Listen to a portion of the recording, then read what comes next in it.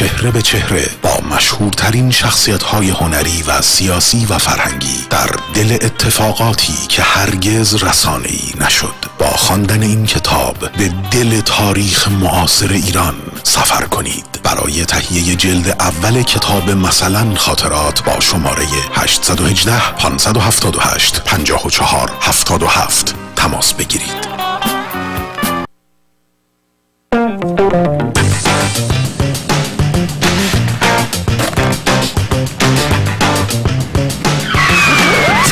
تصادف پیاده یا سواره؟ از لس آنجلس تا ارواین از ساکرامنتو تا لاس وگاس گروه وکلای Heydari Law مدافع شماست. 818 818 07 07 heydarilawgroup.com ای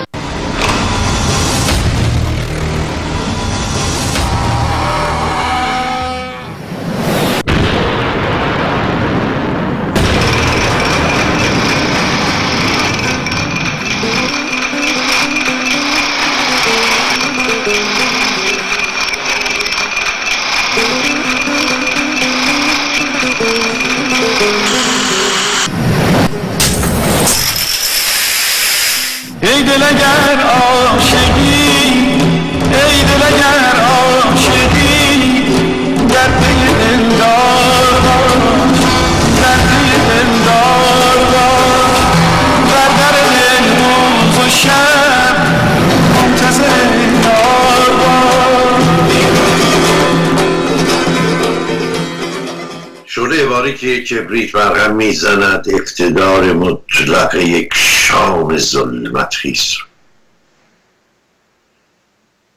یک شاخ شم یک شعله میانان اقتدار سیاهی رو برهم میریزه. هر چقدر بخواد بخنابر باشه. سیاهی از پس یک شعله شم بر نمیاد. شمی روشن شد نگاه کنید چه خبری در دنیا. تویتر امپراتوری توییتر امروز در اختیار جوانان آزادی خواه ایران بود هم همه جا عکسون ها نیمی از جمعیت کره زمین این هشتگ رو دیدند. و این اتفاق در ایران اونها رو تحت تاثیر قرار داده. شمار کسانی که حمایت پشتیبانی کردن از این هشتگ. یا ریتویت کردن بازنش دادن. هشتگ رو داره میره سخیز برداشته به سمت هفت میلیون نفر. هفت میلیون ایرانی. در سراسر جهان که اینا هفت میلیون خانوار ایرانی رو در واقع نمایندگی می‌کنن. در بخش عمده ای از جمعیت میهن و مملکت ما یک نظرسنجی بود یک افکار سنجی بزرگ در سطح جهان که تاثیرات سریع داشت تاثیرات فوری داشت. و مطمئن باشید روی سیاست گذاری یا اثر گذاره مطمئن باشید. بله. خب. اشکال فهمی داری؟ نداری اشکال فهمی. بسیار.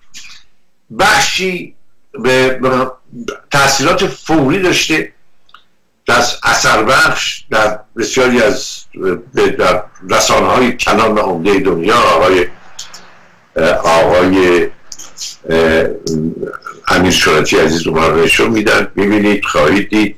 کاخ سفید واکنش داشت وزارت خارجه دانمارکی ها آلمانی ها سوئدی ها و رسانه های عمده در, در آلمان در فرانسه در همه جا در تمام دنیا.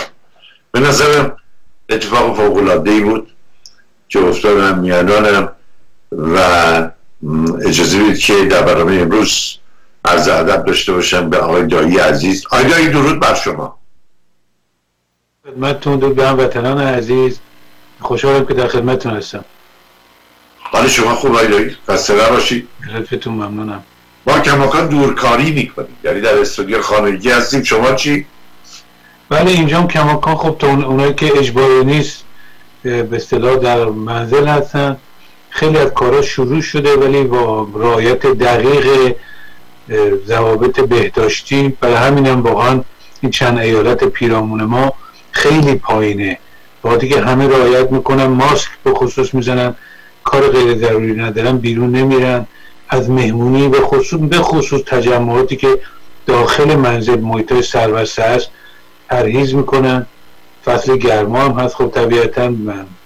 اینه که باید رایت کرد دیگه. این قانونی همه جا آمریکا و ایران نداره.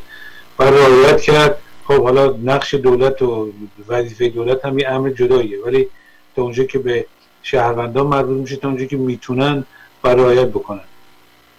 آجایی دلار خیز برداشته به سمت 25 هزار تومن دلار حواله الان تقریبا حدود نزدیک به 25 هزار تومن خرید فروش میشه. الان در بازار یا قیمت اینه. و عوضش این سو شما کسانی که امضا دارن می‌کنن در ریتویت می‌کنن داره ساعت به 7 میلیون نفر می‌زنه. خواستم روایت شما رو در این زمینه بشنوم اعلام شد که تقریبا نیمی از کره زمین جمعیت کره زمین ملاحظه کردن. این این به اصطلاح میشه که هموطنان ما به عنوان هشتک اون رو توییت کردن و ری توییت شده در سراسر دنیا توسط شخصیت های عمده و زبده.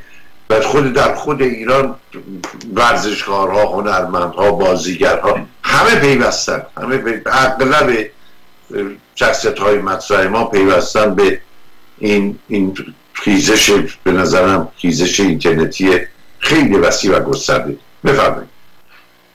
کاملا درست بفرمایید البته یه گام کوچکیه ولی گام مهمیه. به این معنا که خب هموطنان با گرایشات مختلف اومدن در یه مسئله وارد شدن به طور فعال اثر هم گذاشته فعلا حکومت فعلا لاقل تا الان مجبور به عقب نشینی شده. چون واقعش اینه که حالا اینکه این اقدام باعث بشه که ابتکارات بعدی هم هموطنان در کنار هم باشن با گرایشات مختلف بتونن کار مشترک بکنن یک مسئله است. ولی این حداقل کاری که واقعا میشه کرد یعنی دیگه کار فعالیت در فضای مجازی که دیگه حداقله. ولی اثر داره.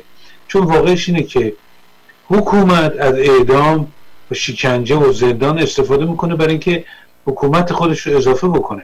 این کاری هم که الان داره می‌کنه این احکام سنگینی که میده و این حکمای اعدام در وحشه در قیام بعدی اینو دیگه همه دارن میگن. دیگه جای بحث و اینا نداره. همه حکومت در وحشت از قیام بعدی می‌خواد مردم رو بترسونه. خب اگه اعدام نباشه و زندان شکنجه نباشه که این حکومت کارش به یه هفتم نمی‌کشه. مردم به خیابانا خواهند ریخت و جاروش خواهند کرد.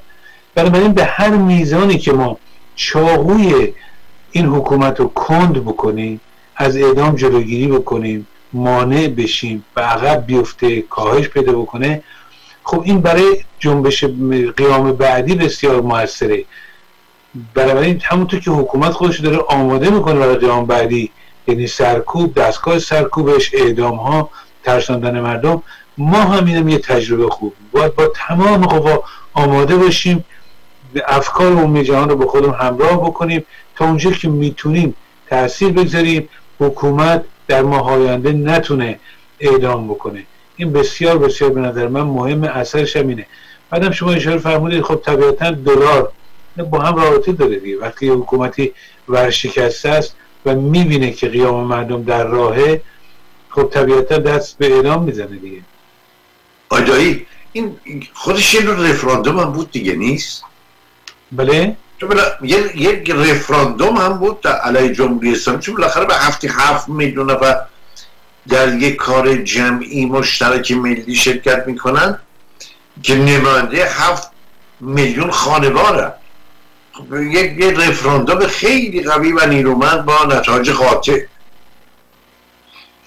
حالا اون رو من واقع دقیق نمی‌دونم آمار ارقام که چند نفر کاربر بودن و اینها ولی تعداد زیاد بوده. یکی بزرگترین طوفان های تویتری در جهان بوده و نشون داده که ایرانیان در داخل و خارج کشور می‌تونن سر یک موضوعاتی حداقل میگم حداقل نباید از شارچوبش خارج شد و انتظارات زیادی داشت. ولی این حداقل کاری که میشه کرد. خب طبیعتا این اثر رو افکار عمومی می‌گذاره. بار اولم نی بارها افکار عمومی جهان و بخصوص دولت ها می‌بینن مردم ایران رو. چه قیام آبا ماه بود چه خیزش دیماه 96 بود دو سال پیش.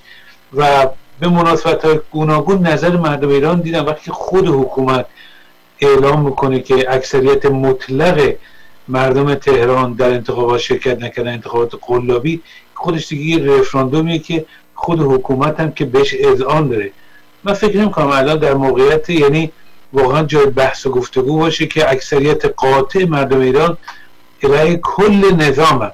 حالا سوال به اون مسئله اعدام هم مطرحه که امیدوارم که در کشور ما دیگه دونده هیچ نوع اعدامی نباشه ولی در این مورد اعدام مخالفینی که نه دادگاهی بوده نه چیزی بوده و کاملا مشخصه که بیگناه هستن. حکومت که خودش اعلام کرده که صدها نفر کشته چند ماه پیش و هنوز یک نفر مسئول برش پیدا نشده. حکومت که خودش میگه که ما هواپیما رو هواپیمای مسافری رو ساقط کردیم. عده بیگناه رو کشتن به اون وضعیت هنوز یک مسئول پیدا نکرده پای میز محاکمه بکشه. و سه تا جوان رو که در تظاهرات شرکت کرده بودن رو اوورده و می‌خواد اعدام بکنه. خب این نشون میده که به طور هماهنگ همه شرکت کردم کار به جایی رسید. انقدر این طوفان تویتری موفق بود.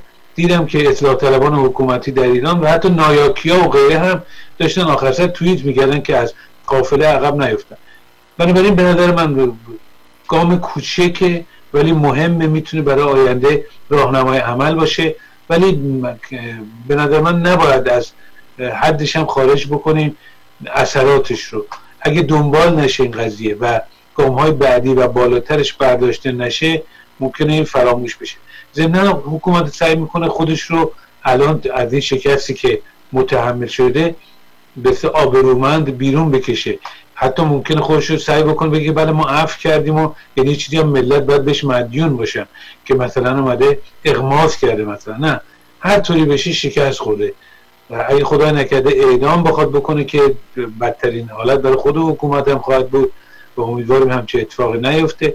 اگر هم مجبور باشی که عقب بشینه یک پیروزی برای مردم ایرانه. هر چقدر هم کوچک ولی پیروزی یک گام مهمیه تو این شرایط که باید ازش استفاده بکنیم برای گام های بعدی.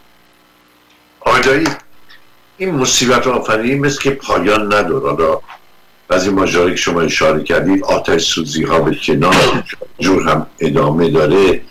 زدن هواپیما و و این ماجرای کرونا این بدبختی هایی که مردم امروز بهش دست به گریبان هستن.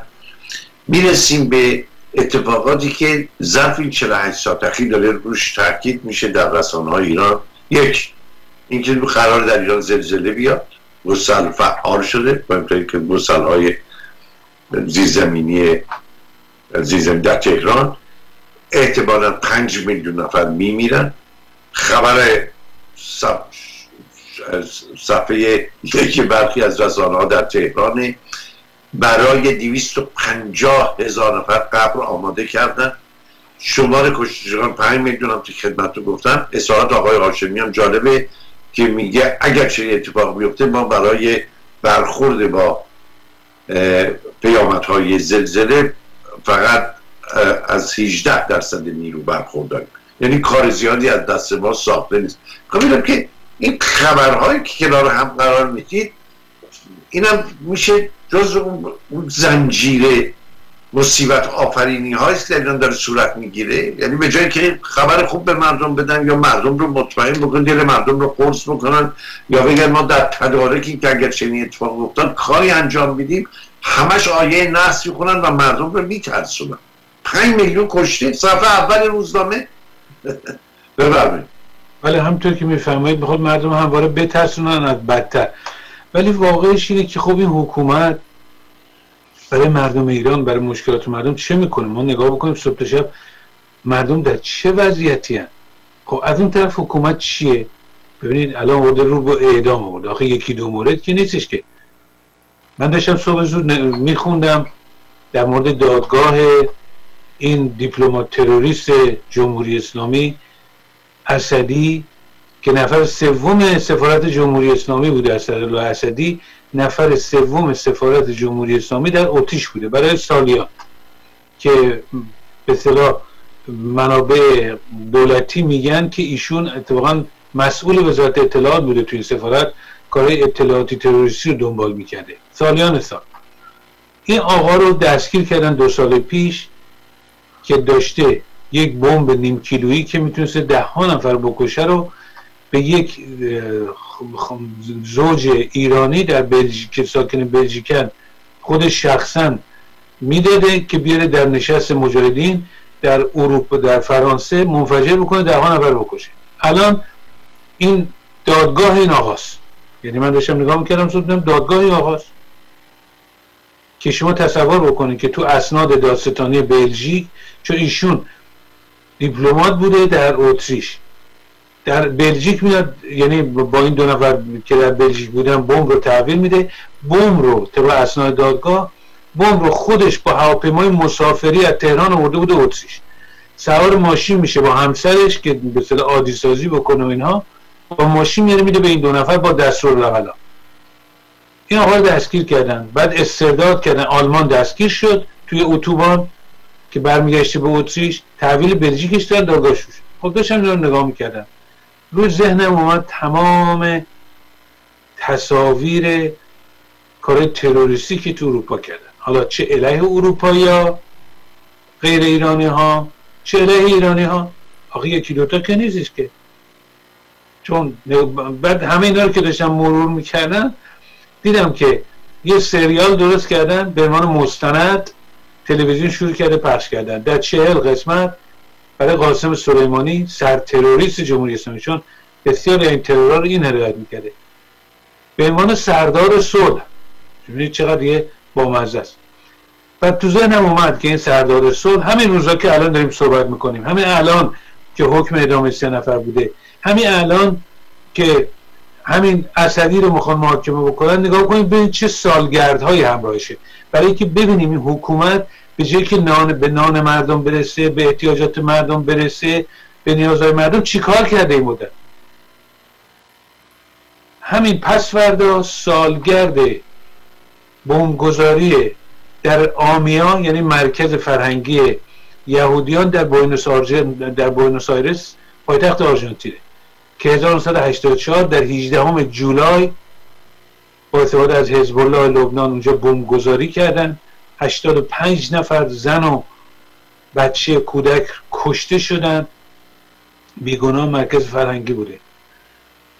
که بعد از اون مقامات داستانی آرژانتین مشخصا ولایتی رفسنجانی اینها رو و مسئولین حزب الله همین اماد مقدی که کشتن اینا مسئولین پرورده بودن. یه آخوندی به نام ربانی محسن ربانی که آقا همین الان در قوم مرکز به اصطلاح دار و تبلیغ برای مبلغ همین آخوندهایی که تبلیغ میرن آمریکای لاتین آرژانتین نمی‌دونم برزیل و جای دیگر این آقا تربیت می‌کنه. این آقا یکی کسی که تو اون بمبگذاری دخیل بعد بیام جلو 18 جولای بود. 18 جولای 1984 یعنی پس فرد. 18 جولای 8 سال پیش 2012 در بلغارستان یه عملیات بمبگذاری کردن در یه اتوبوس تو بلغارستان. توریست های اسرائیلی که اومده بودن بلغارستان رو پنج نفرشون رو کشتن تعداد زیادی رو مجروح کردن. این بخش کوچکی از ترورهای اروپایی این آقایون یا این سردار صلح و سپاه قدس در اروپاست. برمیگردیم به ترورهای ایرانی ها چون این کاری که مخواستم بکنن در مورد مخواستن ایرانی ها رو بکشن. نگاه بکنید. دیگه یکی دوتا که نیست. من یادمه که از دهه هشتاد میلادی که این بمبگذاری بود در پاریس و عده کشته شدن در خیابان پاریس. مسئولین داستانی و دادگستری فرانسه می‌خواستن. وحید گرجی کاردار جمهوری یکی از به مسئولین سفارت جمهوری اسلامی در پاریس رو بازجویی بکنن که نقش داشت در این داستان. جمهوری اسلامی اومد گروگانگیری کرد و بساطی رو انداخت وحید گرجی رو آزاد کرد. تا به امروز نگاه بکنید ببینید ترورای ایرانی و غیر ایرانی چقدر اینا ترور کردن. قتل هایی که در خارج کشور کردن. چند نفر رو کشتن. همین آقای حسین موسویان که این حضرت آقا که همین الان در دانشگاه پرینستون ایشون به عنوان کارشناس و به اصطلاح پژوهشگر ویژه داره حقوق می‌گیره از آمریکا از محافل مماشات داره اینجا فعالیت می‌کنه. این آقا سفیر جمهوری اسلامی در آلمان بود موقعی که ترور میکونوس رو انجام دادن این آقا الان شده پژوهشگر ترور میکونوس که رهبران کرد رو کشتن در میکونوس. همینجور بریم جلو. دکتر بختیار دکتر رجوی نمی‌دونم دکتر قاسملو آقای برومن همینجور بیام جلو. یکی دوتا که نبوده. میگن نزدیک صد نفر رو در اروپا ترور کرد این مال بخش ترور. که یکیش الان میگم همزمان سالگرد اینه. هم اسدی رو برن محاکمه می‌کنن هم سالگرد آمیاس اون رو دنیا تو آرژانتین هم سالگرد بنگذاری بلغارستان درست همین پس فردا میشه سالگردش. این یه نمونه. یه نمونه. فقط ما قسمت ترورها و ایرانی غیر ایرانی. حالا برگردیم به قتل. این اعدامی که کردن همین چند هفته دیگه سالگرد فتوای خمینی برای قتل عام زندانی سیاسی. یعنی شما تصور بکنید که اینا از روزی که خمینی اومد که اون پشتبان مدرسه علوی اعدام شروع کرد. بعد رفتن کردستان و ترکمن صحرا تا اونجا که می‌تونستن کشتن. توی دو سال و نیمی هم که تا قبل سی خورداد بود با شماخ کشی اینا ده ها نفر کشتن. از سی خورداد شروع کردن اعدام. از سی خورداد 1360 تا مرداد ماه 67 یعنی هفت سال معلومه چند هزار نفر اینا اعدام کردن در زندان ها بعد سال 67 هم گفتن بقیه رو اعدام کنیم. این حکومته. برم قضای زنجیره داخل اضافه کنید یعنی ما وقتی داریم الان صحبت می‌کنیم از این حکومت که چطور هموطنان یک پارچه میان این به خاطر چهل سال جنایتی که اینا کردن که دیگه هموطنان می‌بینن. جای بحث و گفتگو نداره. این حکومت کارش ترور اعدام پولشوی و قاچاق گروگانگیری به این کار است. مشکلات مردم برداشته پنج تا کشتی نفت رو بنزین رو. چارده هزار کیلومتر برو چارده هزار کیلومتر برگرد. که بنزین بدن برن ونزوئلا. دیدم حسن نصرالله سخنرانی کرده و چون الان لبنان خیلی وضع اقتصادی خرابه. من جمله سوخت نیست. گازوئیل نیست. حتی نیست. ژنراتورهای برق خیلی جا خوابیده. مردم تو این تابستان برق ندارن غذا ندارن کار ندارن. حتی نصرالله سخنرانی کرده که ما باید کمک جمهوری اسلامی رو بپذیریم. یعنی اگه دولت لبنان بپذیره فکر نمی کنم به نیم ساعت بکشه کشتی های بنزین یا نفت مجانی حرکت خواهد کرد به سوی لبنان. یعنی تا اونجا که به اونا می‌رسه بلد خود جمهوری اسلامی. سهم مردم ایران اعدام و ترور و فقر و گرسنگی. این آینه یعنی ما امروز که هر روز که آدم نگاه می‌کنه امروز به ویژه که نگاه می‌کنیم این سالگردا این اتفاقات که دور خودمون میفته حکم اعدام برای سه نفر دادگاه اسدی در اروپا سالگرد بمبگذاری آرژانتین سالگرد بمبگذاری بلغارستان سالگرد قتل عام زندانیان سیاسی هفته پیش ترور الهاشمی در بغداد. همه اینا رو بذاری ببینید این حکومته. خب این حکومت چه انتظاری میداره بنابراین اگه من نتیجه که بخوام بگیرم اینه که هموطنانی که شرکت کردن در این کارزار توییتری و این موفقیت یادمون نره. ما مبارزه با اعدام مبارزه با اعدام مخالفین مبارزه با زندان زندانی کردن مخالفین شکنجه مخالفین رو در چارچوبه نمی‌بینیم که همونطور که اصلاح طلبان بعضیشون اومدن اصلاح طلبان قلابی توییت کردن. که این نظام باقی بمونه. این حکومت دی این حکومت ذاتش ترور و گروگانگیری و سرکوبه. باید تمام این درخواست در چارچوب مبارزه برای رفتن این حکومت بشه. اگه زنان فکر می‌کنن برخی از هموطنان که تونستن برخی از حقوق زنان رو فقط در چارچوب مبارزات مثلا به قول مطالبه محوری نمی‌دونم سنفی کسب بکنن که نکردن یادمون هم نره که مبارزه با اعدام مخالفین و زندانی کردن مخالفین فقط می‌تونه در چارچوب مبارزه برای سرنگونی این حکومت معنا پیدا بکنه. در اون چارچوب که ما می‌تونیم انتظار داشته باشیم که این حرکت ها به گام های بالاتری ارتقا پیدا کنه وگرنه کردم نایاک و اصلاح طلبان حکومتی در داخل ایران و غیره هم همه شدن تو این چند روزه مخالف اعدام که ظاهریه. ولی وقتی که بیفته در چارچوب در مسیر واقعیش یعنی رفتن این حکومت اون موقع خیلی از این به اصطلاح پوشالها کنار خواهد رفت و مسیر مبارزه روشنتر خواهد شد. ولی گام بسیار مهمیه و در این مسیر هم معنا پیدا می‌کنه. تشکر. آقای دایی عزیز جمهوری اسلامی به شمار زیادی از زندانیان معمولی مرخصی داده حتی به کسانی که در قتل جنایت هم دخیل بودن.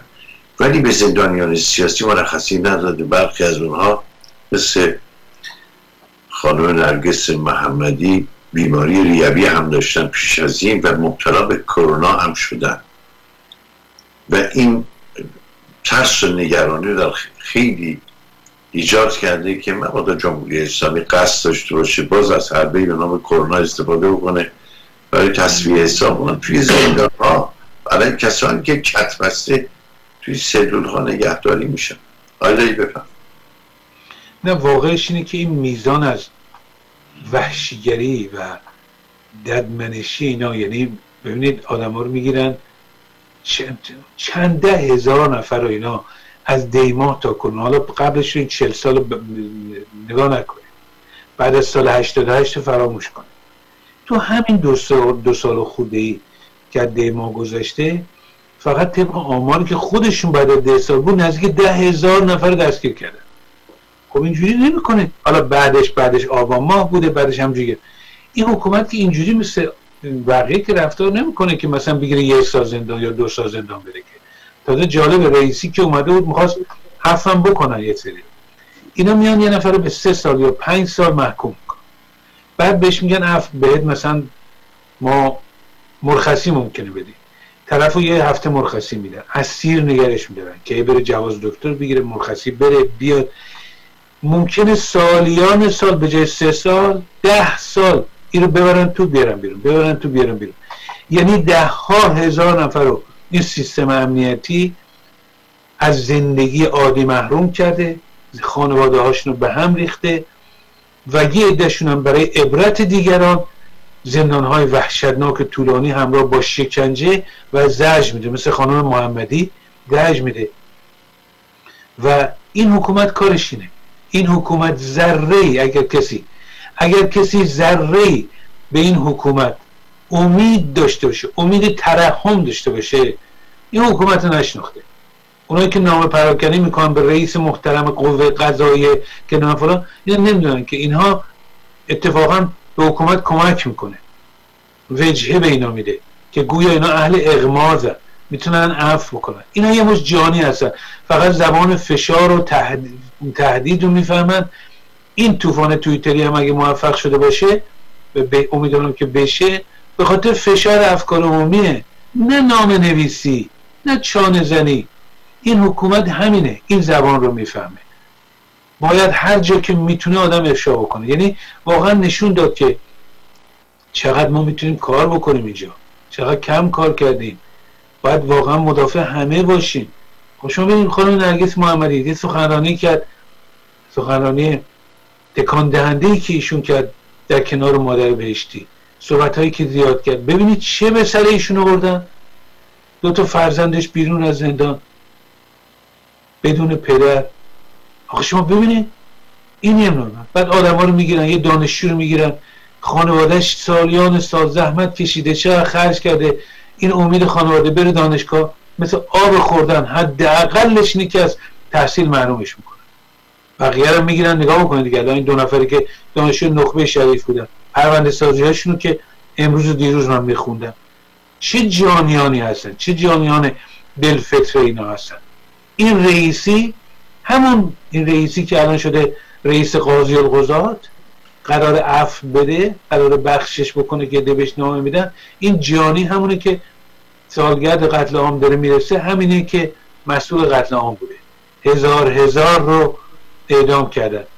دختر و پسر کسانی که برخشون از 15 سالگی در زندان بودن. 15 سالگی. این جانیان فقط زبان فشار رو میشنون می‌فهمن چه فشار بین المللی چه فشار داخلی به ویژه فشار مردم.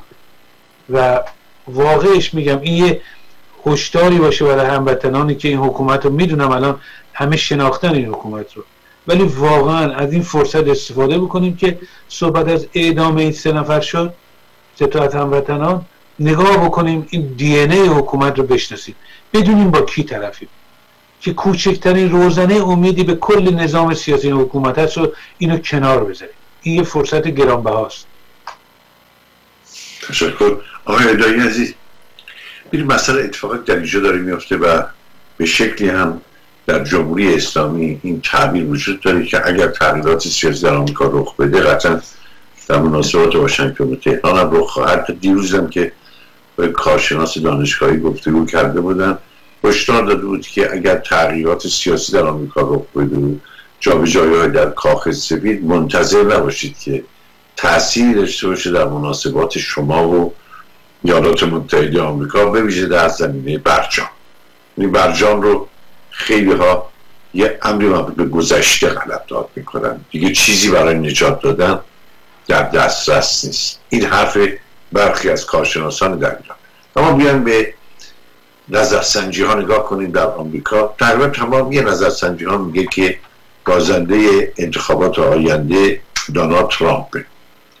آخرین نظرسنجی سی بی اس رو نگاه می‌کردم دیدم که بله آقای بایدن خیلی جلو افتاده. و اینطور که میگن میانگین سبقت بایدن از آقای دونالد ترامپ میانگین در سطح ایالات متحده آمریکا 15 واحده خیلی زیاد 15 درصد. و حتی یک نظرسنجی دیگه یک نظرسنجی دانشگاهی میگه در ایالتی مثل تکساس که به طور سنتی به جمهوری خواهد تعلق داره در اونجا ترامپ و بایدن به هم برابر خواهند.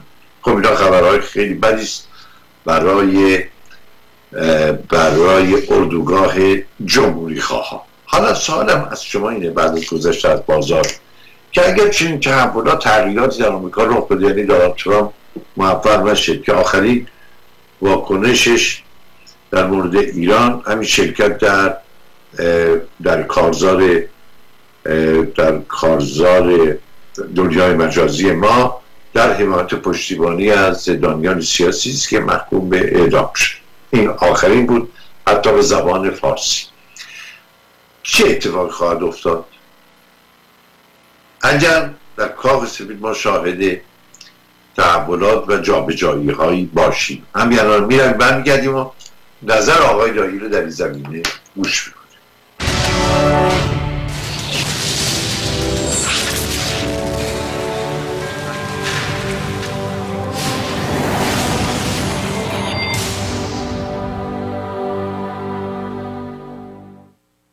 سرشناسترین وکیل جامعه ایرانی دکتر کامران یدیدی تصادفات اتومبیل موتورسیکلت صدمات بدنی حمله حیوانات زمین خوردگی. در امور تصادفات و صدمات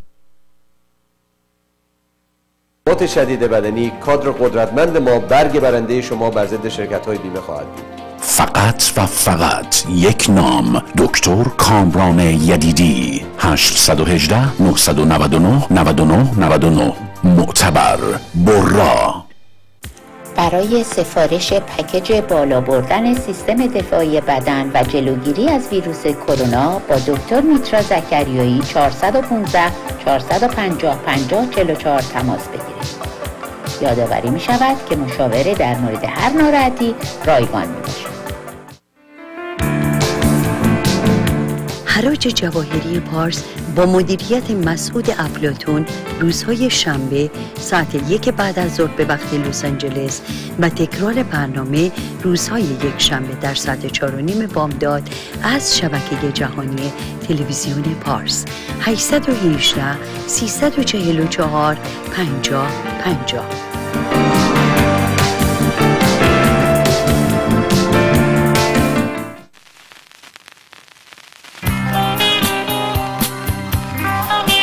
مثلا خاطرات. مجموعه خاطرات سانسور نشده روزنامه نگار و نویسنده عباس پهلوان. چهره به چهره با مشهورترین شخصیت های هنری و سیاسی و فرهنگی در دل اتفاقاتی که هرگز رسانه‌ای نشد. با خواندن این کتاب به دل تاریخ معاصر ایران سفر کنید. برای تهیه جلد اول کتاب مثلا خاطرات با شماره 818 578 54 77 تماس بگیرید.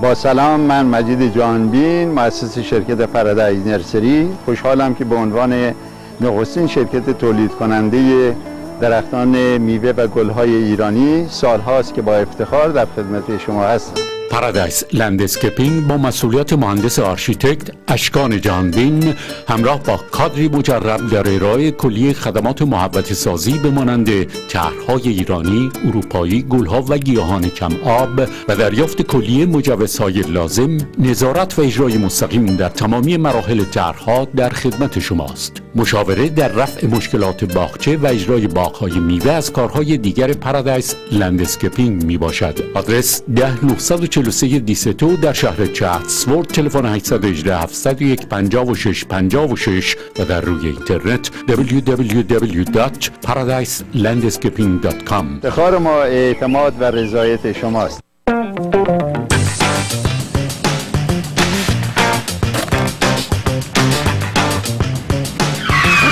تصادف پیاده یا سواره؟ لس آنجلس تا ایواین از ساکرامنتو تا لاس وگاس گروه وکلای هیدریلا مدافع شماست. 818 818 07 07 هیدریلاگروپ.com خب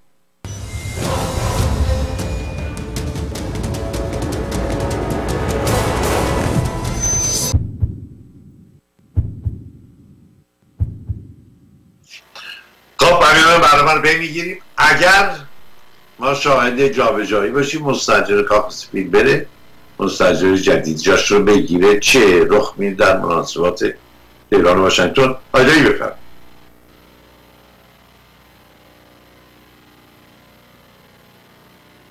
آیدایی. آیدایی صداتون رو باز کنید. صدای آقای دایی خب همین با آقای دایی هستیم. آقای حسن دایی در که پنجشنبه با آقای دایی هستیم. اگرم حوادث به شکلی پیش بره که لازم باشه با آقای دایی در رفت داشته باشیم حتما مزاحم شد میشیم. برقرار شد ارتباط صدای آقای دایی رو نداریم. خب همین تا آقای دایی آماده بشن اجازه بشه به چند نکته اشاره کنم. یکی از خبرهای خیلی مهم این خیز برداشتن دوباره دلار روزشون دهنده فاجعه سیدن در مملکت با میگذره. افزایش دلارهای تقلبی در بازار ارز ایران نفع نگران کننده ای حتی متوجه شم سرکلش رو آمریکا پیدا شد. یعنی کسانی که ارز رو خودشون داشتن به آمریکا بردن لابلاش دلار تقلبی لبچینا بیگناه هستن بی خبر و خب این خیلی تکان دهنده و خوشدار دهنده است. حتی دیدم هموطنان ارجمند میشن جلوی دوربین و در شبکه های اجتماعی توضیح میدن که چطور میشه یک دلار تقلبی رو از یک دلار واقعی تشخیص داد. البته سخته. ولی همین که اطلاعات سطحی هم ما داشته باشیم خیلی کمک می‌کنه. به اینکه کلا سرموندن خیلی متوجه باشیم خیلی با دقت چون بعدا ممکنه که اشکالات قانونی برای ما در خارج ایجاد بکنه. اونایی که عامل مثلا فکر کنید یه بسته اسکناس داره توش صد تا اسکناس صد دلاری که از اونها قلابی حساب در خیلی تکون دهنده است. ولی کسی که خودش بیخبره پول رو میره تعویض بکنه یا یک جایی میره خرید بکنه و دستگاه پول رو رد می‌کنه. برقرار شد؟ آمدن دایی. آقای دایی کجا بودی؟ نمی‌دونم چرا قطع شدی یه باره. تقصیر این آقای موسوی آقای جنتی در تهران؟ یکی از این دوتا. من ارز کنم که تقصیر آها بفرم من ارز کنم واقعش اینه که خب اولا تا انتخابات خیلی مونده. هنوز نمیشه گفت. ولی من کلا همیشه اعتقاد داشتم 16 هفته که مونده. 16 هفته دیگه طبیعیه که تاثیر می‌ذاره چه رئیس جمهوری باشه از کدوم حزب باشه. ولی آنچه که مهمتره شرایط خاصیه که هر رئیس جمهوری هست. یعنی واقعش که در حتی یک رئیس جمهور می‌تونه در دوره های مختلف سیاست های متفاوتی بره.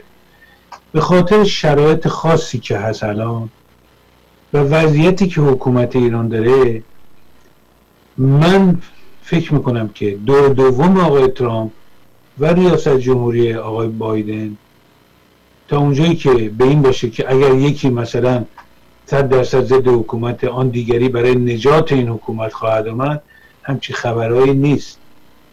یعنی واقعش اینه که حتی آقای با... حتی آقای بایدن بیاد.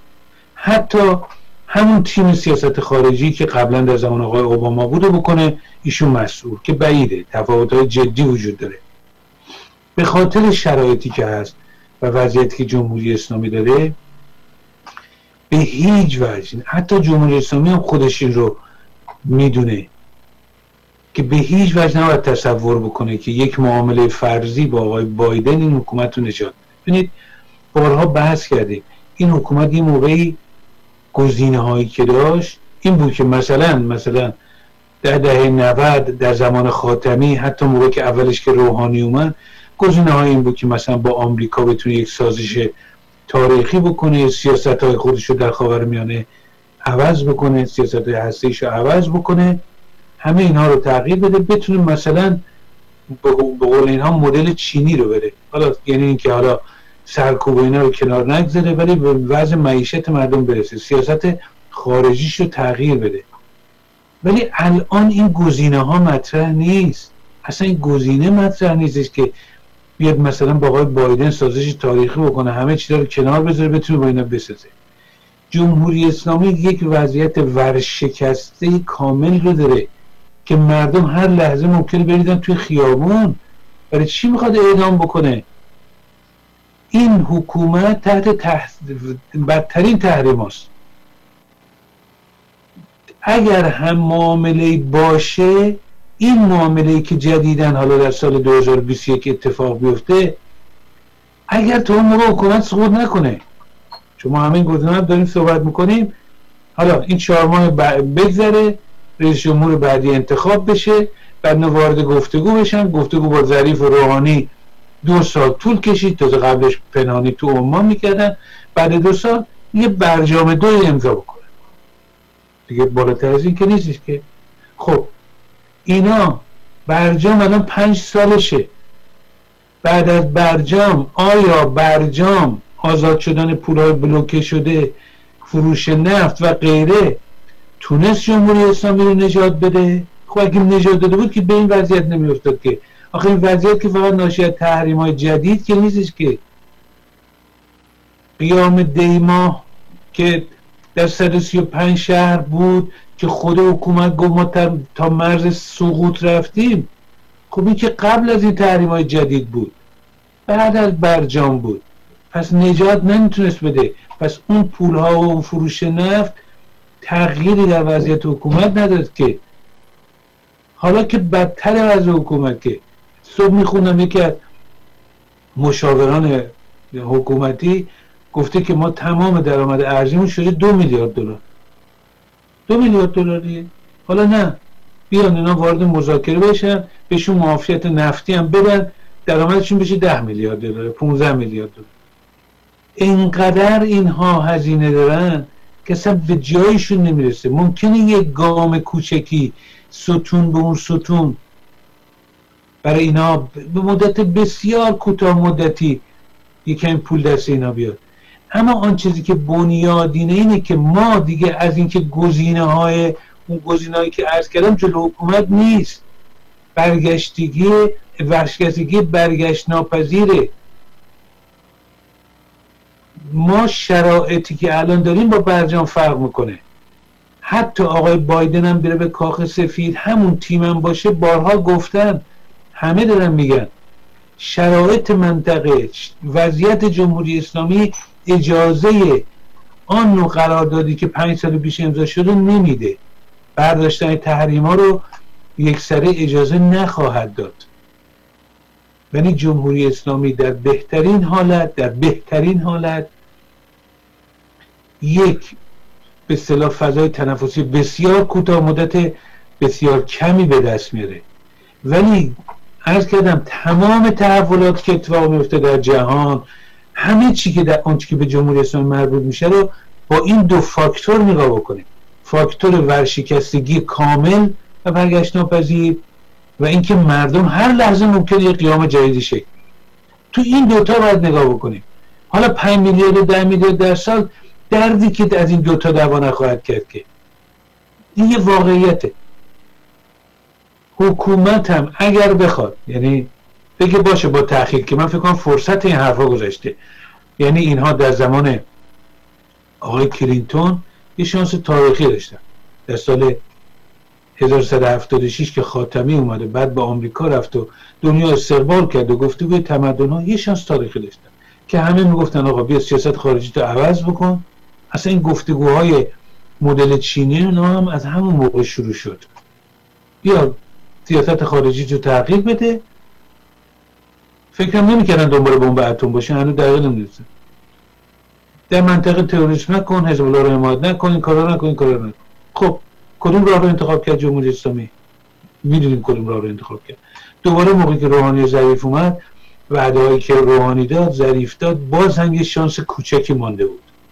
ولی الان آنچنان سرنوشت جمهوری اسلامی به دخالت های منطقه گره خورده که عقب نشینی جمهوری اسلامی چون الان برای اینکه تمام این مشکلات تحریم ها حل بشه که سالیان سال طول خواهد کشید تنها در صورتی اینها برداشته خواهد شد که جمهوری اسلامی به طور کامل برنامه های منطقه‌ای و هسته رو تعطیل بکنه. اینو اگه به این راحتی می‌شد بکنه که تا به حال کرده بود که تا حال کرده بود که دست به دامن چین نمی‌شد که خب میاد دست به دامن آمریکا می‌شد. خب اگه می‌تونست که می‌کرد. برای اینکه براش بها داره. اما از اونجایی که الان تفاوتش با پنج سال پیش اینه تفاوتش با 20 سال پیش اینه که اگر اون موقع مثلا به یه میزانی این سیاست های منطقه‌ای گره خورده بود با وضعیت حکومت و عقب نشینی از اینها یه میزانی آثار بدی آثار زهری در سیستم حکومتی میذاشت تضیفش می‌کرد. الان که ما داریم صحبت می‌کنیم گفتم این دو فاکتور یعنی ورشکستگی و قیام بعدی مردم. توی این شرایط از اونجایی که باید به طور کامل عقب بشینه برای رفع کامل تحریم ها. کامل. این عقب نشینی در این شرایط ضعف در شرایطی که مردم آماده قیام و از نظام عبور کردن براش مرگباره. اگه نبود که می‌کردن. عقل این حکومت که این حکومت که رو در خجالت نداره که. مگه نرفت با آقای اوباما مذاکره کرد قرارداد بس؟ خب بنابراین براش مسئله ای نیست که. خب چرا نمیاد؟ چرا نمیاد با همین آقای ترامپ مذاکره بکنه؟ برای اینکه بعد این بار عقب نشینی کامل بکنه. با وضعیت که لبنان هست عراق هست سوریه هست. بعد پرونده هسته رو کاملا تعطیل بکنه. این عقب نشینی ها یعنی تضعیف سپاه قدس تضعیف سپاه پاسداران یعنی اون چیزی که حکومت حفظ کرده یعنی دستگاه سرکوب. توی شرایط که مردم آماده قیامن یک همچین ضربه اگه بخوره خامنه ای و کل سیستم یعنی یه همچی عقب نشینی کاملی بکنه برش مرگباره بنابراین بیهوده نیست که حکومت نمی‌کنه. ماها داریم از چیزی میترسیم یا میترسونن ما رو که آخ حکومت میاد تمام این کارا رو انجام میده با آمریکا سازش می‌کنه. که خود حکومت از انجامش میترسه. ما رو از چیزی میترسونن که خود حکومت ازش وحشت داره و نمی‌کنه. یعنی عقب نشینی کامل برای حل مسئله تحریم ها. هفته پیشم من صحبتی که در مورد چین بود نه این بود که این حکومت اهل بربستان و فروش وطن و نمی‌دونم حراج سرمایه کشور و کل فروش کل وطن به قبل می‌تونه قباله وطن هم به نام یکی امضا بکنه اگه سر کار بمونه. در این تردیدی نیستش که در این تردیدی که در این شرایطی که حکومت داره حتی چینی که با سریلانکا و خیلی کشور دیگه قرارداد بسته و همه دنیا میگن این قراردادها مثل قراردادهای استعماری جدیده. ولی همین چین با امضای قرارداد با جمهوری اسلامی ابا داره. ازش ابا می‌کنه. این وضعیت حکومته. اگر چین میترسه و ابا داره که بیاد کوچکترین کاری بکنه که جمهوری اسلامی بخواد نجات بده وقت ما رو میترسونن یه عده‌ای که جمهوری اسلامی قراره بره با آمریکا سازش بکنه آمریکا نجاتش بده.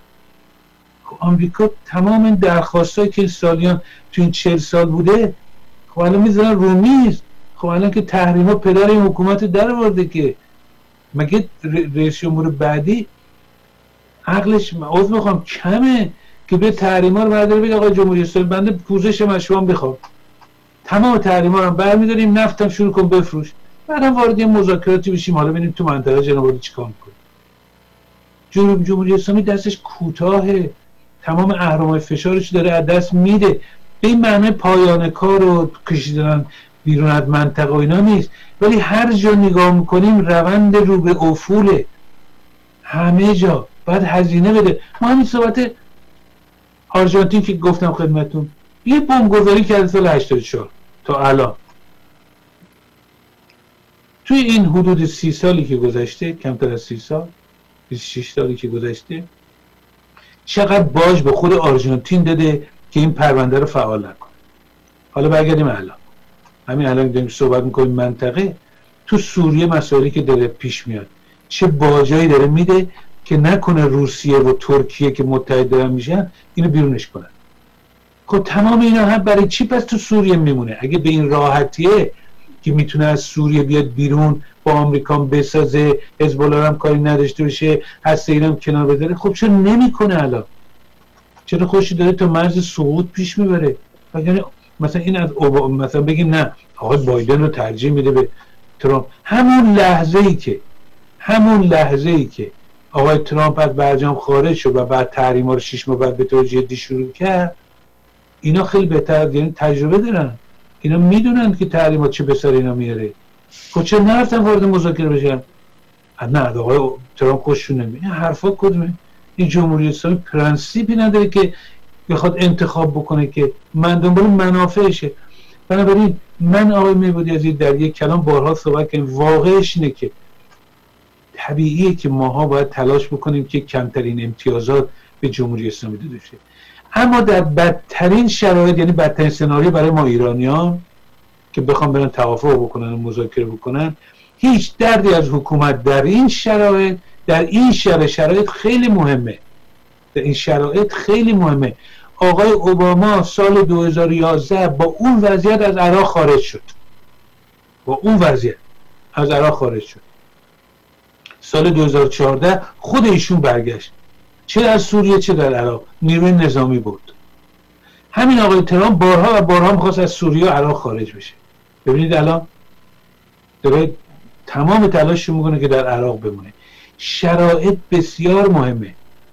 بنابراین با توجه به شرایط با توجه به وضعیت جمهوری اسلامی با توجه به وضعیت قیام مردم ایران من هیچ نگرانی عمده ای از اینکه تغییر ریاست جمهوری بتونه این جمهوری این جمهوری اسلامی واقعا خائن به مردم ایران رو اینو بتونه نجات بده هرگز و هرگز این نگرانی نداره. می‌تونه از کردم در یه چهارچوبی یه نوع سازش هایی یک فضای تنفسی کوتاه مدتی بسیار کوتاه مدت و کم به جمهوری اسلامی بده که از اون هم ما باید جلوگیری بکنیم. و می‌بینم که هموطنان فعالا واقعا جای امید تو کنگره تو فضای رسانه چقدر هموطنان دارن فعال میشه ولی من نگرانی جدی واقعا ندارم. این جمهوری اسلامی که نگرانه. تشکر. تشکر. 16 هفته مونده به انتخابات آمریکا. ولی حال آیه دایی این تشکر می‌کنم از توضیحاتی که دادی. این فیلم قرارداد جمهوری اسلامی و پکن و چین. هنوز ظاهر نشد تو جوابای ظهور بعد ظاهر میشه. بتونیم درباره جزئیاتش صحبت بکنیم. ولی این اینم واقعیت داره که هیچ حیوانی در بیابان نمیده تو دهانه آتشفشان دانه بکنه. اینقدر هوشمند هست. خب ایران امروز دانه آتش فشانی وضعیتی که می‌خوانه مملکت ما پیدا کرده. همه ما با سوابق اقتصادی چین مناسبات با دنیای بیرون آشنایی داریم. چینی ها اینطور میگدار و آب نمی‌زنن. حتی در بدترین شرایط همیشه ملاحظه قواعد تخلیم ایالات متحده آمریکا در مورد ایران داشتن. بارها پول ایران دستشون بوده حاضر نشدن به ایران بدن به خاطر شرایط تحریم. و هنوز ایالات متحده آمریکا عمده ترین بندر و بارانداز اقتصاد چین. حتی در مورد در این دوره کرونا و همین جنگ تجاری که وجود داره در در بسیاری از زمین ها صادرات چین نسبت به گذشته بیشتر هم شده که کمتر نشده. آیدایی بفرمایید. منظر کنیم که از کردم هفته پیشم؟ این که هموطنان هوشیار هستن عکس العمل نشون میدن بسیارم خوبه. اما من در مورد این به صلاح قراردادی که صحبتشه قراردادی واسه نشده. در مورد این من اصلا نگرانی که ندارم هیچ فکر می‌کنم یه مقدار خود حکومت هم دامن می‌زنه. مخصوصا دل مردم رو خالی کنه. من اگرم هفته پیش که صحبت می‌کردیم زیاد در این مورد پنجا پنجا بود برام در مورد اهداف حکومت الان وقتی می‌بینم آدمای حکومت نایاکی یا غیره تو رسانه های مهم آمریکایی شروع کردن به آمریکا و افکار امید. دیدید دیدید؟ هی فشار حد اکثری آوردید هی نمی‌دونم تحریم کردید. جمهوری اسلامی رفت با چین ساخت و خودشون نجات داد. یا دوستان حکومت که بله با چین ساختیم و نمی‌دونم فلان. برای خالی کردن دل مردم ایرانه برای فشار به دولت مردان آمریکایی توی فضایی که شکاف هست بین چین و آمریکا که بله دیدید اینا با هم ساختن. واقعش اینه که این قرارداد درد کردم چهار پنج سال مطرح. قرارداد که نیم این پیشنویسی که نوشته خود جمهوری اسلامیه درخواستنامه جمهوری اسلامیه. 50 درصد این طرفش هم حله. یعنی جمهوری اسلامی آماده وطن فروشی کامل کامل. یک در این تردیدی هم نیست. اون 50 درصدش من شک دارم. نه که شک دارم. من میگم اصلا وجود نداره. الان یعنی هیچ نشانه من جدی نمی‌بینم که چین در هیچ زمینه ای که صحبتش از این قرارداد اقدام کرده باشه. دیگه خب نگاه بکنیم دیگه. در مثلا در چند سال در لاقلش اینه که چهار سال حدودا اینو نوشتن. پنج سال هم صحبتش هست اما که رئیس جمهور چین اومد و روحانی رفت ظریف رفت. خب اولا هیچ کسی راجع به این صحبت نمیگه تحویل هم نمی‌گیره حتی سال گذشته که اون روزنامه نگار انگلیسی نوشت بازم کسی محل نمیگذاشت به این مسئله. حالا امسال به دلایلی یه رفعه مطرح شده. خوبم هم. هموطنان عکس نمدشون میدن باید هوشیار باشیم اما واقعش به آمار ارقام نگاه کنیم. سرمایه گذاری چین در عراق در عربستان در ترکیه کشور دورور نگاه بکنیم. اصلا قابل مقایسه نیست با ایران. ایران صد برابر برای چین مهمتر از عراقه مهمتر از عربستانه. آخه در قلب خاور میان است. یکی از مهمترین کشورهای خاور میان است. مهم شهر مهمترین خب چطور میشه که اینقدر مهمه؟ این همه در عراق و عربستان و پاکستان و سریلانکا و کشورهای آسیای مرکزی میلیارد میلیارد میلیارد سرمایه گذاری کرده. تو کشور ما نمی‌کنه. ناچیزه. خب چرا نمی‌کنه؟ برش میاد مثلا یا مثلا چینم دچار محضوریت اخلاقی مثلا. خب نه. اون موانعی که جدی وجود داره اونها جدیه. تحریم ماهیت سیاست خارجی جمهوری اسلامی. آخه چین که چین 20 سال 40 سال پیش که نیستش که. چین ادعای ابرقدرتی داره. سیاست خارجیش هم تهاجمی تر شده. برنامه دراز مدت استراتژیک داره میریزه. برای حضور خودش در آفریقا آسیا خاورمیانه و آسیای مرکزی. آقای دایی تو هم جان داشته باشید برای بعد میگردیم که بتونید دنبال بکنیم سخنان آقای دایی رو.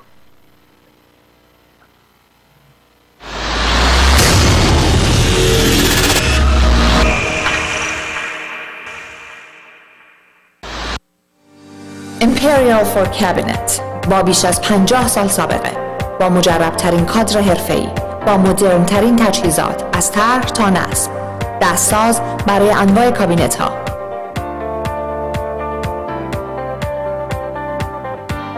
آشپزخانه های کلاسیک و مدرن برای هر سلیقه.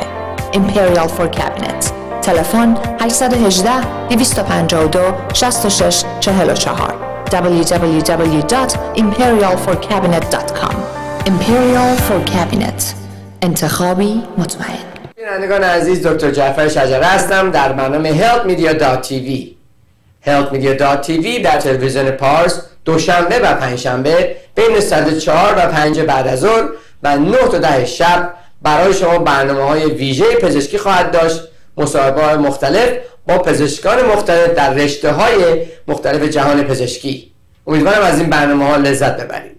دنیایی از کانال های تلویزیونی، فیلم، سریال و برنامه های پربیننده برای همه پلتفرما در هر کجای جهان جیلویزی شدن به همین راحتی. در عصر تکنولوژی کارت های تلفن لانگ دیستنس را با اپلیکیشن جیل تاک جایگزین کنید. تماس با ایران هر دقیقه 3.5 سنت. افغانستان 13.5 سنت. تاجیکستان 14 سنت. ترکیه از 2.5 سنت. آذربایجان 21.5 سنت. امارات عربی 15 سنت. تماس با اکثر کشورهای اروپایی آمریکا، کانادا، استرالیا، اسرائیل و مالزی 1.5 سنت. برای اطلاعات بیشتر به وبسایت جیل تاک مراجعه کنید. آیا دلتون می‌خواد آگهی تبلیغاتی شما دقیقا در محل مورد نظر خود در دهها شبکه تلویزیونی معتبر پخش شود؟ خوشحالیم به اطلاع برسانیم که سرویس جدید جی ویز تحت عنوان GL Ad Exchange کالا و یا خدمات شما را با کمترین هزینه و تاثیرگذارترین روش به تمامی فارسی زبانان جهان معرفی می نماید. GL Ad Exchange این امکان را دارد که تیزر تبلیغاتی شما را بین صدها برنامه تلویزیونی بر روی تمامی دستگاه های هوشمند برای میلیون ها مشترک جی در هر جای دنیا پخش کند. شما فقط بابت تعداد تبلیغاتی که دیده شده اند پرداخت خواهید کرد. گزارش دقیقی از تعداد محل و زمان پخش آگهی در اختیار شما قرار خواهد گرفت. معرفی business خود را با تکنولوژی روز همراه کنید. اگر اخیرا پیشنهاد دیدن یک فیلم یا سریال رو در ویز به شما دادن برای اینکه به راحتی بتونید اون رو در لیست هزاران فیلم و سریال ویز پیدا کنید می‌تونید از امکان جستجو استفاده کنید. برای این کار با استفاده از چهار جهت کنترل تلویزیون روی علامت ذره بین رفته و OK کنید. سپس با استفاده از کیبورد ارائه شده به کمک چهار جهت کنترل تلویزیون و فشردن دکمه OK بعد از هر حرف نام کامل یا قسمتی از نام برنامه مورد نظر خودتون رو در محل مشخص بنویسید. حالا از لیست ارائه شده سریال مورد نظرتون رو پیدا کنید. یه جی ویزی هر چیزی که بخواد رو حتما پیدا می‌کنه دیگه نگران از دست دادن برنامه های تلویزیونی مورد علاقتون نباشید با جلویز می‌تونین به راحتی به 72 ساعت قبل برگشته و برنامه پخش شده خود رو تماشا کنید. فقط کافی است منوی مربوط به کانال مورد نظر خود رو انتخاب و گزینه 72 ساعت رو کلیک کنید. سپس روز و ساعت برنامه پخش شده خود رو انتخاب نموده و اون رو تماشا کنید. GLWiZ هر زمان در هر کجای جهان. دفاتر حقوقی آناهیتا شجره و Associates تصادفات. صدمات بدنی امور کارمند و کارفرما. رانندگی در حال مستی. در دفاتر حقوقی آناهیتا شجره و اسوشیتس 1 800 322 94 25 به دنیای انواع تازه ترین میوه ها، سبزیجات، گوشت و مرغ و ماهی، خاربار و سایر نیازمندی های شما در کیو مارکت مارکت خانوادگی شما همه قیمت ها باور نکردنی است. تلفن تماس 818 345 42 51 به نشانی 17 261 خیابان منوون در شهر بدی.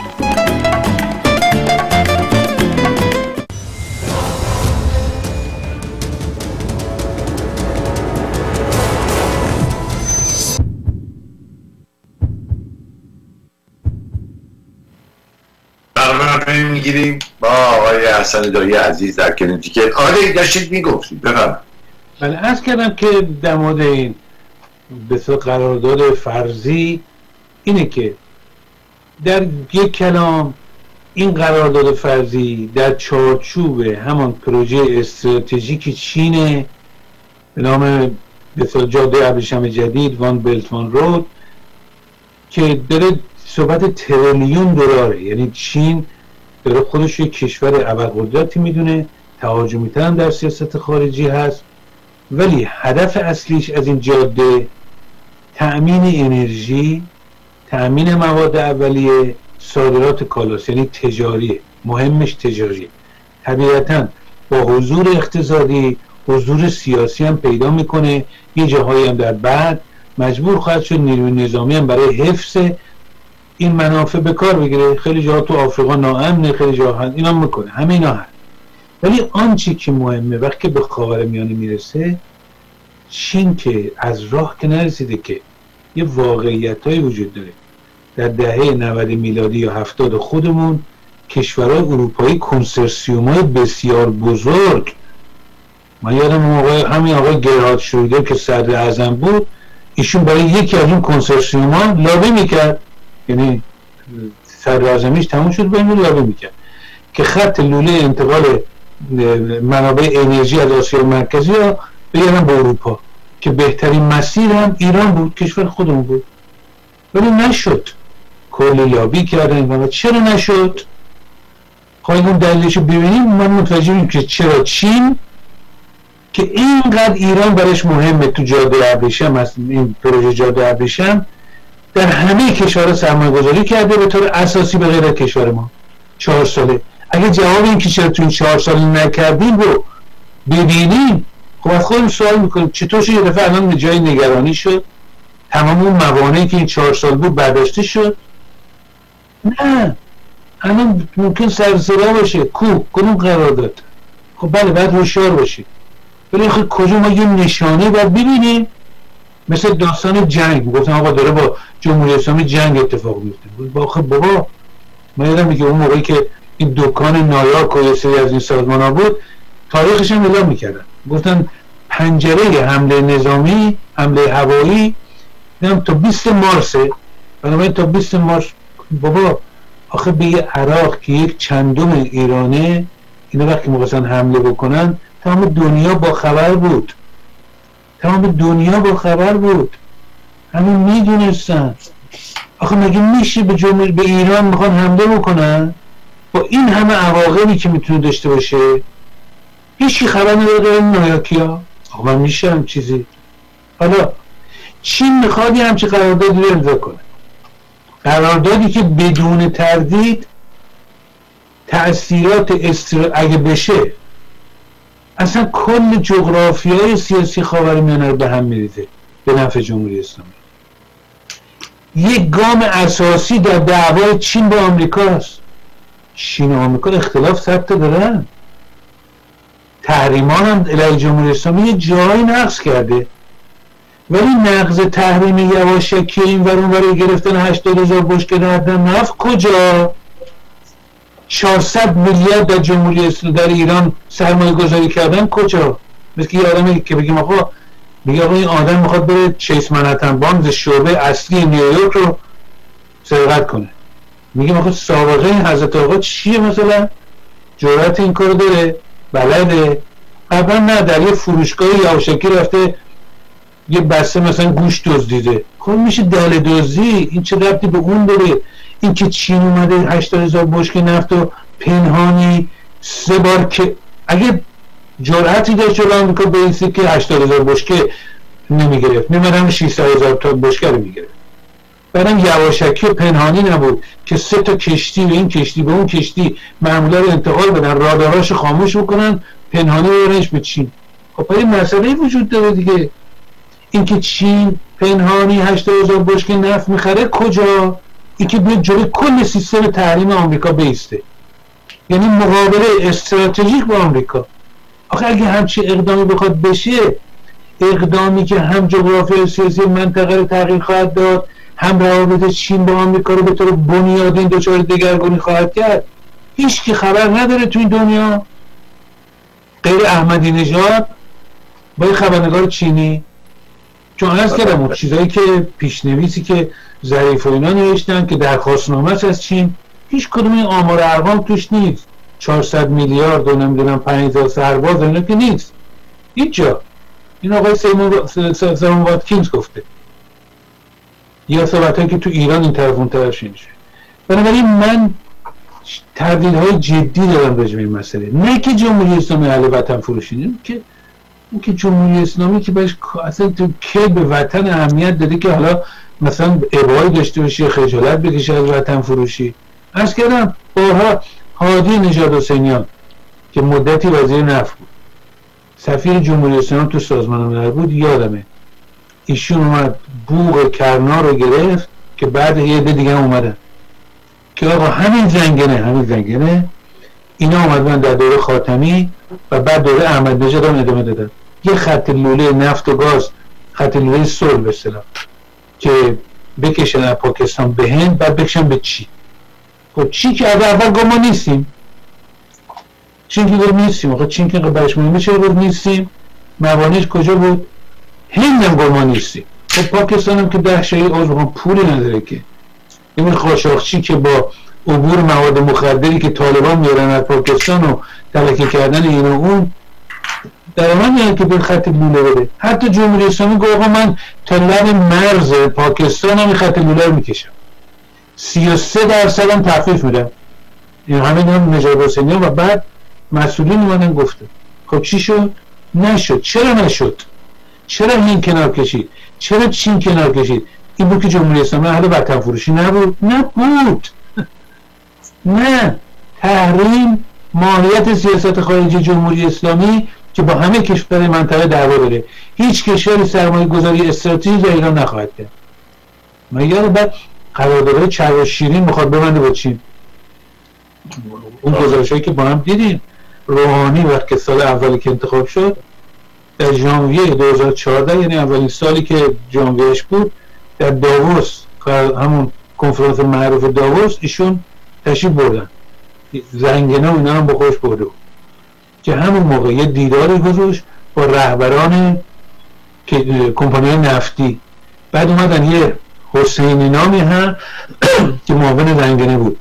ایشون گذاشتن مسئول قراردادهای جدید نفتی. گفتن آقا این قرارداد قدیمی جذابیت لازم رو برای کمپانی خارجی نداره بیان در ایران سرمایه گذاری کنن. ما جذابش کنیم. که وقتی که روحانی اومد اینا رو رفت پشت درهای بسته با رهبران کمپانی نفتی گفت اون موقع رئیسش که توتال. که در سقوط هواپیما اون رئیس فوت کرد. این رئیس جدیدی بود که اومد یه قرارداد دیگه ای که اونم زد زیرش. اون موقع رئیس توتال یادمه که اومد صحبتی که که روزنامه داخلم نوشتن تیتر بزرگی رویتر بود. که آقای روحانی اومده قراردادهای نفتی سوپر سکسی به ما داره ارائه میده. خب بنابراین جمهوری اسلامی که از مثلا ارائه قراردادهای جذاب و حتی مفتادن بین اون که دریغ نمی‌کنه که آنچه که مانع توتال بوده که در ایران سرمایه گذاری بکنه یا چین در ایران بیاد این نبوده که قراردادها به اندازه کافی جذاب نبوده. نه. تحریم ها و مسائل استراتژیکی که در منطقه وجود داره.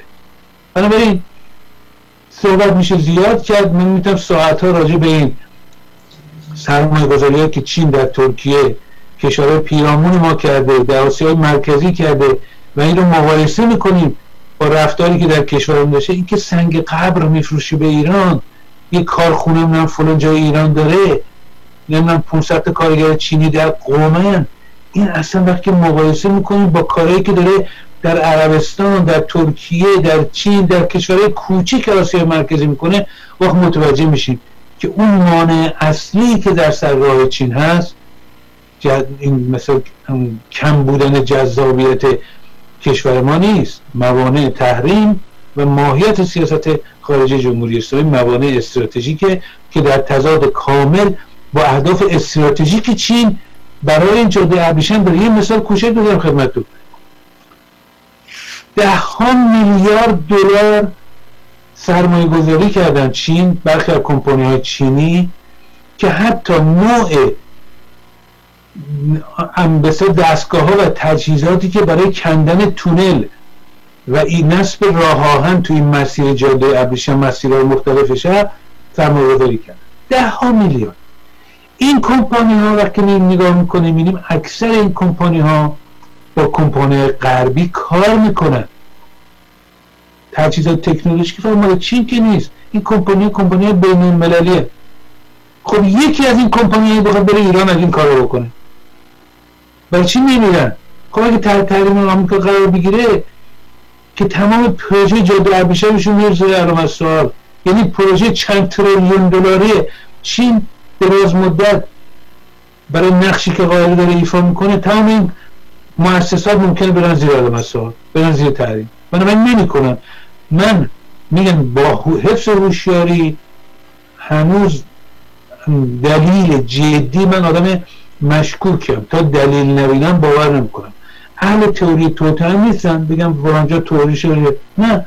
ولی تا وقتی که نبینم باور نمی‌کنم. هیچ نشانه من این تا این چهار سالی که این سند نوشته شده ندیدم. برای اینکه کوچکترین گامی چین در این مسیر برداشته باشه. تشکر. آقای ممنونم یه چیزی به نظرم باز شک برانگیزه. همیانان بریم به مبدع کار کنیم از کجا این خبر منتشر در معمولا در آمریکا میگم وقتی می‌خوان مزنه کار یک سیاست کلان یک پروژه رو امتحان بکنن. میدن به آدم معمولی میدن به یک قانونگذار به نماینده به یک روزنامه نگاه خبر رو منتشر می‌کنه. به مزه دهان مردم از چقدر و مزنه دستشون میدن. سیاست است. اگر افکار عمومی مخالفت زیادی نکرد پروژه رو اجرا می‌کنن اعلام می‌کنن در ایران کسی که در شیپور دمی برای نخستی احمدی نژاد بود. تو یک برج این گژ جمهوری اسلامی در برج دیگه سوت دوم رو کی به صدا در زنید بنابراین جای امکان بسیار در جای به اصطلاح تردید بسیار وجود داره. در مورد واقعیت مناسبات چین و ایالات مضاف که آقای دایی چینی ها همیشه به اصطلاح سیاست گذاری های مشترک داشتن. یعنی کسی به تنهایی از زمان مابتستون تا به امروز در چین قادر نبوده که سیاستی رو تعلیف بکنه. دیپلماسی چین کماکان بر پایه همون اصولی است که چوینلای اون رو بنیان گذاشت تخطی نکرد. رهبر فرهمند کماکان ماهوره. رهبر فرهمند که تاکا برای چینی ها برای که در روسیه مثل قضیه فرق می‌کنه. یه نفره از جاهای پوتین همه کار هست به همین لحاظه که اینقدر بیگدار به آب می‌زنه. در بسیاری از پروژه های ماجراجویانه در سطح جهان شرکت می‌کنه. به دعوت قاسم سلیمانی لبیک میگه بشکرگیجی می‌کنه به سوریا ولی شیگن کارا نمی‌کنن این کارا خیلی با حزم جلو میگن چینی ها وقتی می‌خوان قرارداد ببندن 25 ساله نه 50 ساله میبندن. اینقدر مهمه براشون برنامه‌ریزی های استراتژیک و دراز مدت. به هر حال همچون که آقای دایی گفتن به نظرم اون که برای چینی ها مهمه منافعشون در سطح جهان و همه ما می‌دونیم که منافع کلانتری در خود خاورمیانه دارد مثل وضعیت جمهوری اسلامی مضافر این که جمهوری اسلامی خب کشوری است که از امنیتی چینی نگاه می‌کنن. می‌بینن که به طور فرقی داره عمل می‌کنه. دستگاه امنیتیش هست یک گروهه. سرویس امنیتی واحد نداره ارتش واحد نداره. مردم مخالف حکومت رهبر حکومت پیر سال خورده است. دولت و حکومت تقریبا میشه کنترل مملکت رو از دست دادن. نگاه بکنید به امنیت موشکی ایران نگاه کنید امنیت اتمی ایران. همه دچار ریزش بودن. بدترین اونا همین اتفاقی دیروز افتاد. یعنی امنیت اینترنتی هم دچار فروپاشی شد.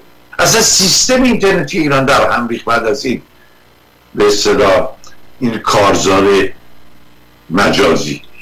آقای دایی یک دقیقه وقت داری میدم شما بفرمایید. از کنم فکر نکته پایانی بگم که رفته بعد میریم صحبت کنیم. پول. پول. یه نفر میگه من رفتم یه ماشین بخرم چه اتومبیل خوبی بود. همه چیش عالی موتورش رنگش اینا قیمتش هم خیلی مناسب بود. فروشنده گفت پول؟ گفتم ندارم. گفت تمام.